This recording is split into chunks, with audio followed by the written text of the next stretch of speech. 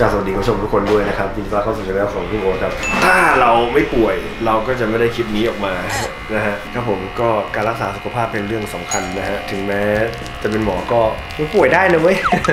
นะฮะซึ่งสิ่งที่เรากำลังให้ต่อไปนี้คือ ไม่ใช่การฉีดยาเพื่อลดไข้นะฮะจริงๆแล้วการที่ไปตามโรงพยาบาลต่างๆ แล้วก็ฉีดยาเข้าก้นแกก็คือการฉีดพาราเซตามอลแหละนะซึ่งก็ให้ความสบายใจช่วยเลยไหมเออไม่กินยาก็ได้ แต่สิ่งที่จะให้ในวันนี้นะครับเราจะให้เป็นวิตามินซีเข้มข้นนะฮะแล้วก็พวกแอนตี้ออกซิแดนต์นะฮะแอนตี้ออกซิแดนต์คืออะไร มันก็คือสารต้านอนุมูลอิสระนะครับ เราให้ไปเพื่ออย่างน้อยก็ทำให้ภูมิคุ้มกันเราแข็งแรงขึ้นนะครับ ซึ่งก่อนที่จะให้อะไรก็ตามเราต้องวัดความดันก่อน ซึ่งความดันตอนนี้ของเราก็ชิบหายสูงพี่หมออาจจะเหนื่อยเหนื่อยแล้วก็ตื่นเต้นไปหน่อยนะครับ ซึ่งปกติถ้าเกิดสมมติเกิน120 นะครับเราควรจะพัก 15 นาทีแล้วก็ วัดใหม่นะฮะซึ่งค่าความดันปกติของคนเราไม่ควรจะเกิน 120 นะฮะ แต่ว่าโซนที่พออารมุ่มอร่วยได้คือ 120ถึง140 อันนี้เขาเรียกว่า pre hypertension หลายความรู้แล้วนะในวันนี้ ชิบหายแล้วคุมความดันเลย โอเค ทุกคนพี่หมออาจจะกินเค็มเยอะไปหน่อยแต่ว่าจะพยายามปรับแล้วกันฮะอะกลับมาที่ antioxidant นะฮะ antioxidant ช่วยอะไรที่จะว่าระบบปกติของร่างกายนะฮะมันจะมีพวกสารพิษ นู่นนั่นนี่รวมถึงเชื้อโรคมาขัดขวาง กระบวนการปกติที่ร่างกายเรามันซ่อมแซมตัวเองใช่ไหมเออการที่เราให้พวกวิตามินซีกับ antioxidant อื่นๆเข้าไปเนี่ยจากการฆ่าเชื้อเข้าไปนะมันไม่ได้ฆ่าเชื้อนะครับเป็นแต่ว่ามาทำให้ไอ้ตัวรบกวนระบบภูมิคุ้มกันเราอะมันไม่มีแทนที่สมมติว่าระบบทำงาน 100%มีตัวขัดขวางแค่20%ถ้าเกิดว่าระบบฟื้นตัวเหลือแค่ 80 เราให้ไอ้พวกนี้ไปเพื่อไปกระจัดไอ้ที่รบกวนนั่นนะฮะทำให้ประสิทธิภาพในการฟื้นตัวกลับมา100%หนึ่งร้อยเปอร์เซ็นต์ไหมอันนั้นก็เกินไปนะครับงั้นก็ ว่าความดันแล้ว เดี๋ยวเราจิ้มเข็มนะฮะ แล้วความดันต่ำสุดอะถ้าต่ำกว่า 90 จะเรียกว่า hypotension หรือความดันต่ำนะครับ อันนี้เป็นภาวะช็อกระดับที่1นะฮะ ก็ต้องให้น้ำเกลือกินน้ำไม่เยอะเราก็จะกลับขึ้นมาได้ ถ้าใครยังไม่ต่ำกว่า 90 60 ก็ถือว่า โอเค เรียบร้อยก็เดี๋ยวให้ดูวิธีการจิ้มกันแบบใกล้ชิดนะฮะถึงถึงแม้จะติดไม่เหมาะกับการลงโฆษณาก็ช่างแม่งนะฮะสีเหลืองไม่เป็นไรเดี๋ยวเรามาดูกันใกล้ๆกันนะทุกคนดูครับ เรารัดเพื่ออะไรครับ ทุกคนเรารัดเพื่อให้เหมือนกับเลือดมันวิ่งขึ้นทางนี้ไม่ได้นะครับทำให้เส้นเลือดมันโป่งขึ้นมาชัดเจนตกเพื่ออะไรนั่นสิ มันเออแล้วสิ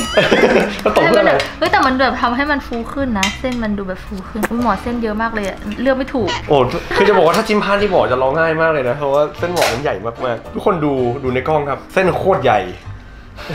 ไม่ค่อยกดดันเลยนิดนึงนะคะหายใจเข้าลึกๆนะคะคุณหมอเพื่อนึงแนวทางที่ดีนะครับสังเกตว่า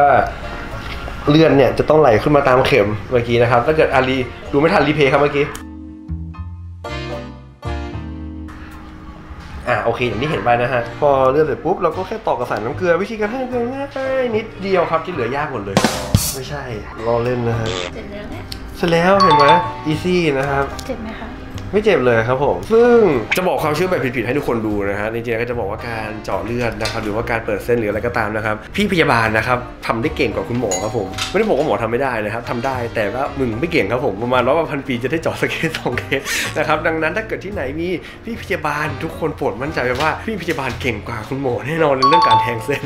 นะฮะดังนั้นคุณหมอก็ก็คิดดูสิว่าพี่พยาบาลเวลาเรียนจบมาใช่ไหมเราเจอกับผู้ป่วยเยอะแยะมากมาย ก็ต้องให้น้ำเกลือให้ยาให้นู่นให้นี่ยังไงประสบการณ์แทงเขาเรื่องเยอะกว่าเราอยู่แล้วนะฮะยกยกเว้นว่ามันเข้าตาจนเราอยู่ข้างนอกจริงๆ ถึงวันนั้นแพทย์ก็ต้องสูบวิญญาณพี่พยาบาลแทงให้ได้เหมือนกันนะฮะอาจจะมีลุ้นบ้าง1นถึงสรอบก็ว่ากันไปนะอันนี้ก็เป็นความเชื่อเล็กๆน้อยๆที่คนจะเข้าใจผิดว่าหมอต้องเป็นทุกอย่างเป็นนะใช่ครับ แต่ชำนาญไหมเออไม่ไม่ทุกเรื่องนะฮะไม่งั้นเราจะมีสายอาชีพอื่นร่วมกันทำไมใช่ไหมนี่แหละก็ถามว่าเฮ้ยอาชีพอื่น ๆ เรียนไปเพื่ออะไรมีพยาบาลเพื่ออะไร มีสาธารณสุขเพื่ออะไร นี่แหละเขามีเพื่อทำงานบางอย่างที่หมออาจจะไม่ได้มีเวลาไปทำหรือว่าหมออาจจะไม่ได้ชำนาญในเรื่องนั้น หมอรู้นะว่ามันควรต้องทำยังไง แต่แค่ไม่มีเวลาลงปฏิบัติเพราะว่าเราก็มีหน้าที่อื่นที่ต้องทำเหมือนกันนะครับ ถ้าขาดพี่ๆเข้าไปเราก็ลำบากเหมือนกันโอเคทุกคนทีนี้ก็จะให้น้ำเกลือ ทุกคนเห็นมันหยดติ้งติ้งติ้งติ้งติ้งติ้งไหมจริงๆแล้วเนี่ยสังเกตว่ามันก็ไม่ได้มีเครื่องอะไรเลยดูไล่ตามสายมา เห็นไหมว่ามันไม่มีเครื่องเลยเลย แล้วก็ต่อเข้ากับเส้นเลือดเลย แล้วเราจะรู้ได้ยังไงล่ะว่า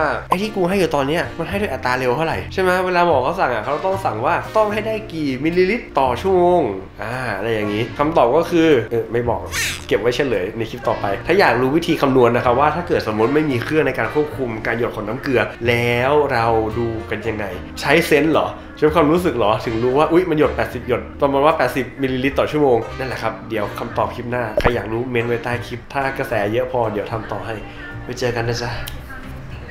บ๊ายบายอ๋อคลิปปล่อยทุกวันพุธตอน5โมงเย็นเสาร์ตอนเที่ยง ถ้าเยอะกว่านั้นก็อังคารพฤหัสเสาร์